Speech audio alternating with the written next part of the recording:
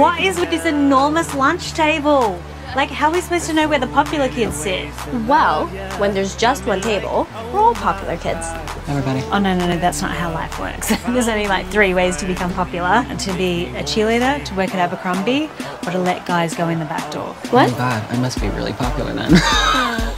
Oh my God.